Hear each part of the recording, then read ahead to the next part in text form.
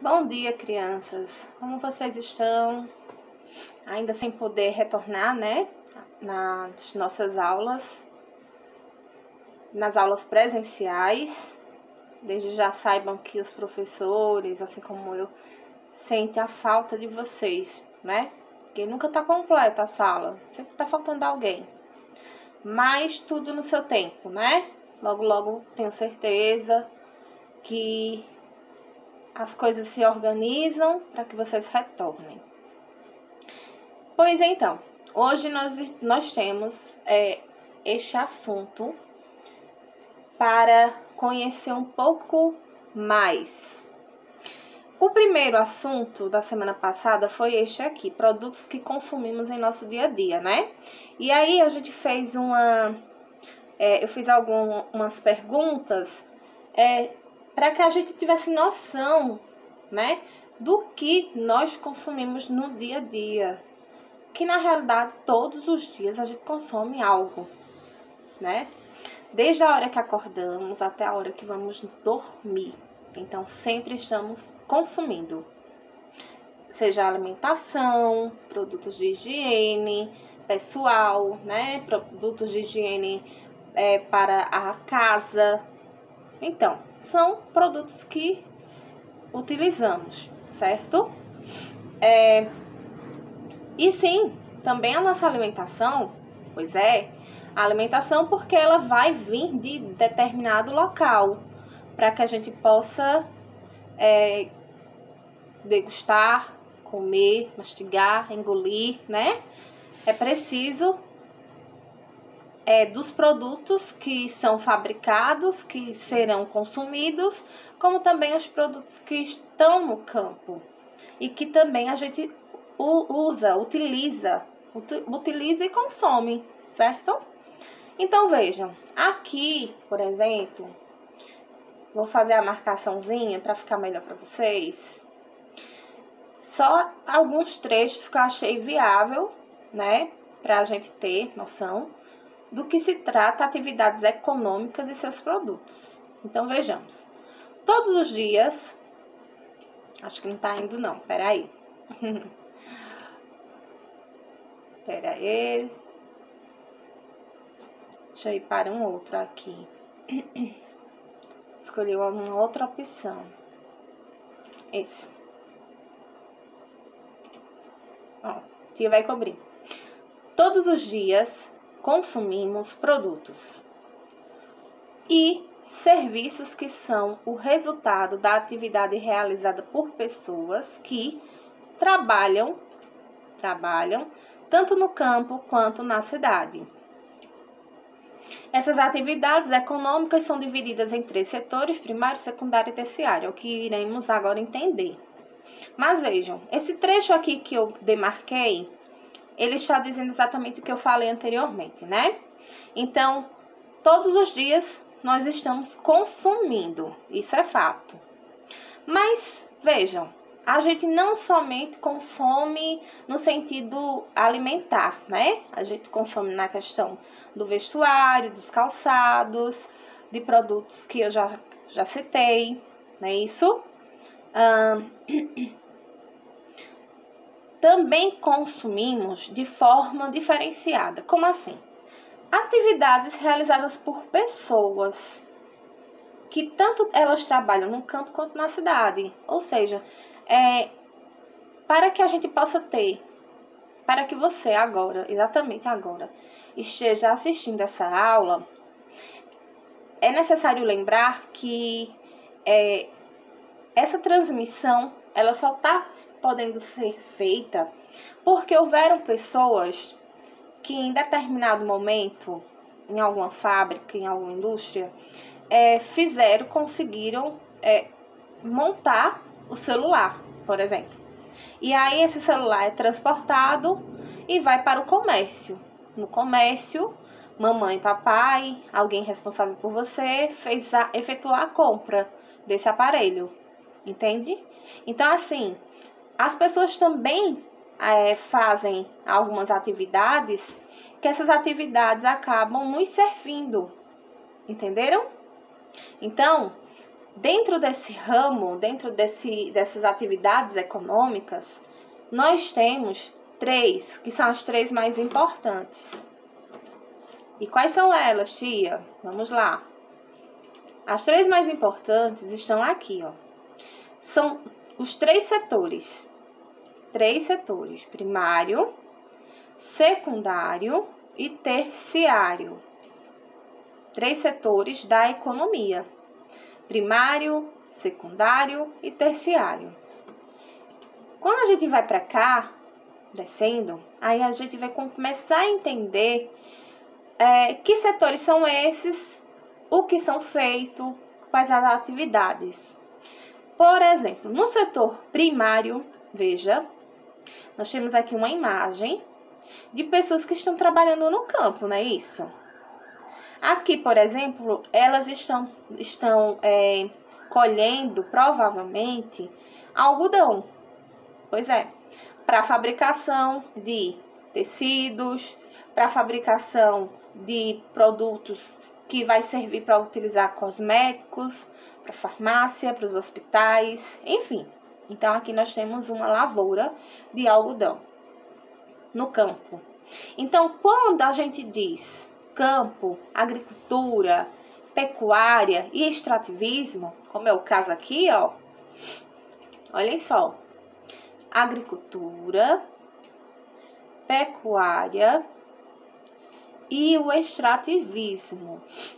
São atividades, são as primeiras atividades que despontam todas as outras. A partir daí, nós vamos ter produtos que serão é, processados, que serão é, fabricados para que a gente possa utilizá-los, né? E lembrando sempre, por trás de cada uma dessas atividades aqui, que é a do setor primário, sempre terão pessoas que estarão trabalhando, prestando esse serviço muito útil para todos nós. Entendido? Aí, parando, saindo do primário, é bem fácil, ó. Vamos para o secundário. Primário como se fosse primeiro. Secundário como se fosse segundo, tá? Já no secundário, diz assim: Nesse setor estão as atividades econômicas voltadas à indústria e à construção civil. Como assim? Vejam, olha a diferença. Veja a diferença do primário, dessa imagem, para a do secundário. Esse senhor, esse rapaz, ele está em um setor industrial, não está? Veja, veja a proteção para os ouvidos devido aos ruídos, né, para não afetar a audição. Alguns maquinários que estão perto, é, ele tá como se estivesse estendendo, eu não sei se isso provavelmente é algo parecido com uma mangueira ou uma corda específica, não é isso? Pois é. E aqui, ó, logo aqui no final, nós temos alguns produtos que estão embalados. Bom, tem duas opções. Ou esses produtos ainda é, vieram do, da agricultura e ainda estão aqui embalados porque vão ser processados e fabricados o, o, o produto, né? Ou são produtos que já estão prontos e logo serão transportados e comercializados no comércio, certo? Então, quando a gente fala em setor secundário, a gente tem que lembrar que o secundário tem relação com a indústria Sim, porque as pessoas estarão trabalhando na indústria e fabricando produtos, processando produtos.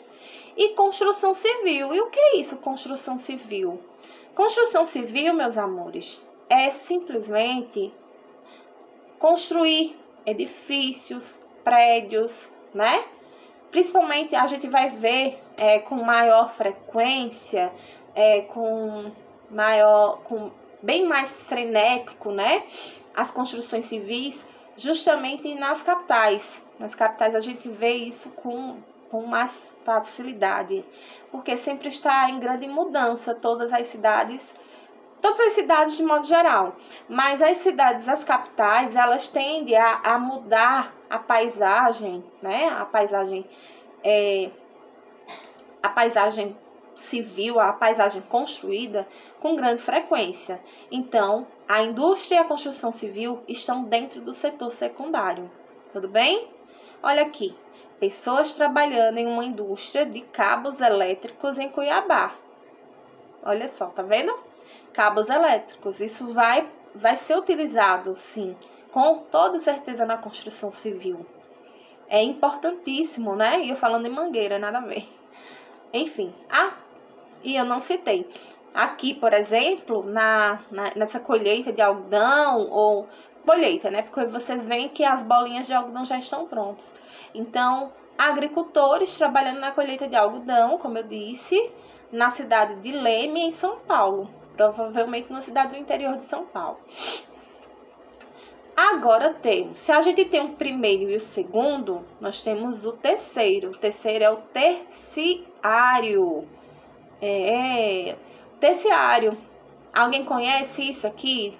Será que Bom Conselho tem isso aqui? Tem, tem sim. Não igual, né?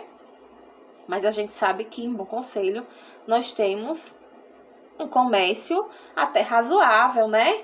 Tanto esse comércio se estende na avenida, onde tem proximidade com o educandário, como também a, o comércio mesmo, é, onde está a Praça Dom Pedro II. Então, ele, é, ele está bem estendido, né? Ele, ele é um comércio até expansivo, vamos assim dizer, né? Não é muito grande, mas ele é bem expansivo. Então, veja, aqui está dizendo, antes da gente ir para essa, essa informação do terciário, vendedores apresentando produtos aos clientes no mercado municipal de São Paulo. Famoso mercado municipal de São Paulo, que é, dizem que é, tem uma variedade de, de coisas, de comida, de pastéis, o famoso é, que eu já vi, não que eu tenha ido, né? Infelizmente não tive essa oportunidade. O famoso pão com mortadela, não é isso? É isso. então, quando a gente fala setor terciário, a gente está falando de atividades, olha só, vou grifar, atividades como atividades voltadas ao comércio e à prestação de serviços. E o que é prestação de serviço, gente? Que danado é isso? Veja, sim, simples, bastante simples. Quando a gente diz voltadas ao comércio, nossa cidade, por exemplo, Bom Conselho, nós temos um comércio, não temos? Vende-se de uma, até uma grande variedade de produtos, né? Nós temos, agora temos um número grande, um número maior de farmácias, nós temos lojas de móveis,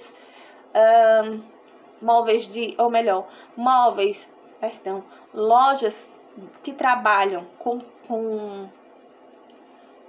com produtos para construção, não é isso? Estão lembrados? Espero que sim. Então vejam, é, isso é o comércio. Setor terciário é o comércio. Então, vamos dizer, olha só, vamos fazer uma situação. Aqui teve a colheita do algodão, não é isso? Colheita do algodão. Vamos dizer que nessa imagem é algum, uh, não que tenha sido, porque o algodão provavelmente não vai entrar nesse produto. Mas supondo que o algodão é, seja utilizado pra, é, em algum componente desse produto que está sendo fabricado, tá? Certo? Quando vem aqui, é, tudo isso é por meio de transportes, né? O algodão ele tem que ser transportado para a fábrica. A fábrica vai produzir o produto feito com o algodão, não é isso? É, os comerciantes irão comprar esse produto. Ele vai ser transportado novamente e, consequentemente, ele vai ser vendido no comércio, né? Então, vão ter pessoas interessadas que irão procurar esse produto no comércio, porque só no comércio é que irá ser encontrado, certo? O que que acontece? Então, setor terciário, ele é o penúltimo das atividades econômicas, ok? Então, vejam, Aí, a gente vê aqui prestação de serviços. O que seria prestação de serviços? Prestação de serviços é, é justamente as atividades em que o ser humano é, exerce. Por exemplo, tia Patrícia. Tia Patrícia está dando aula. Tia Patrícia como professora, não é isso? Então, é uma prestação de serviço. Vamos dizer outros, é, médicos, médicos, é, professores, que mais? Quais são as outras profissões que vocês conhecem, que agora estão me faltando na memória? Uh, a pessoa que varre a rua, é, todos esses, todas essas funções é um, ou melhor, cada um desses, cada uma dessas pessoas, ele é um prestador de serviço. Então, você mais eu temos alguém que está nos ofertando um serviço ele pode ser pago ou não. Isso depende, né? No caso de professores, médicos, a pessoa, o, a, o, o auxiliar de limpeza das ruas, uh, é, não sei, o. Vamos dizer, tio Renan, tia Cicinha. Então, são prestadores de serviços também, assim como eu, assim como os outros que eu acabei de citar. Entendem? Então, eles estão no setor, nós estamos no setor terciário. O comércio está no setor terciário, assim como os prestadores de serviço. Certo? Aí, né, para a gente é, aprender melhor, temos um desafio aqui, ó. É isso, na página 32. Ó, página 32. A gente ainda não vai entrar em agricultura, não por enquanto é, eu quero que vocês tentem fixar esse conteúdo para que a gente possa dar continuidade nos demais. Então, vejam, temos esse desafio. Responda as perguntas sobre as diferentes atividades econômicas. Vamos lá. A criação de peixes, a produção de hortaliças e a mineração de ouro são atividades do setor primário? E aí, gente? O que é que vocês me dizem? Olha, a criação de peixes produção de hortaliças, mineração de ouro. Tudo está aqui relacionado ao campo, não está? Está. Essas atividades aqui estão voltadas para o campo. Você vai me dizer se sim ou não e vai colocar aqui. Letra B. Uma indústria de automóveis e uma fábrica de queijos fazem parte do setor terciário. E aí? será uma indústria de automóveis e uma fábrica de queijos. Fazem parte do setor terciário. No terciário a gente viu isso, falando sobre fábricas. Tem que estar atento para dizer se sim ou não. E a letra C? Uma loja de eletrodomésticos e uma pessoa que presta serviço de, de costura fazem parte do setor secundário. Ó, uma loja de eletrodomésticos e uma pessoa que presta serviço de costura fazem parte do setor secundário. Bom, aqui é apenas sim e não que você vai utilizar. Nada mais do que isso, certo? Vamos ver se vocês conseguem fazer. Eu torço para que sim. Se não conseguir fazer, se fez errado, não tem problema não, tia corrige, tá? E aí você corrige aí e procura entender para você não ter mais dificuldade, tá certo? Então, ficamos por aqui. Eu achei necessário que vocês vissem esse conteúdo, que é o conteúdo que será no presencial. E é isso, tá bom? Fiquem bem, se cuidem e até a nossa próxima aula.